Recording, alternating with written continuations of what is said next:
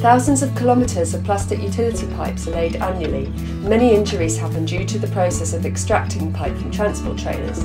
Due to the large amounts of energy stored within the coiled pipe directly from the manufacturing process, the operation can be dangerous. The most common way to control the energy storage within this by tethering the pipe to a number of plant excavators with rope. Pipes also need cutting, which causes problems in that the end in which isn't tethered quickly becomes extremely dangerous.